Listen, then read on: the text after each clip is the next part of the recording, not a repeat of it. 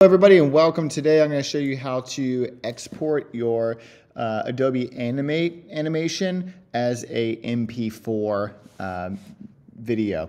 So what we're going to do, uh, make sure you have Animate selected and we're going to go File and then we're going to go down to Export and then we're going to click Export Video slash Media. Um, from here, we're not going to change any of these settings. We're just going to go down and click export.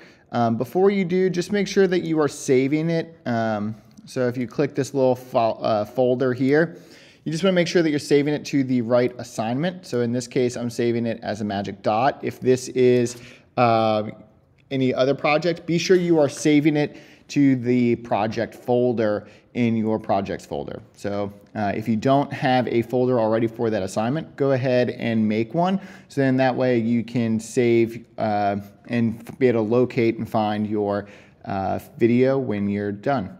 So once you've selected the right folder in your final exports, go ahead and click Save. And then we can click Export here. What's going to happen is um, Media Encoder is going to open up. So it's going to look something like this. Uh, just be patient. It should do most everything for you once it goes up.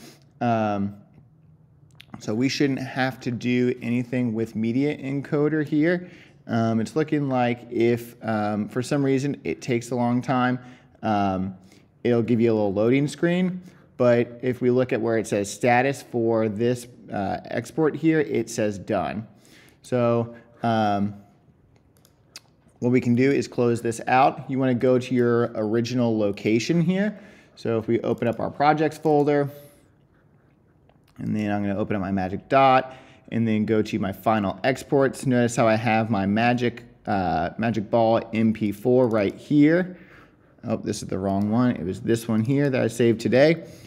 And then, uh, so instead of it being a GIF, it's going to be a uh, MP4. So once it gets to the end, it's then going to stop. And that's our MP4.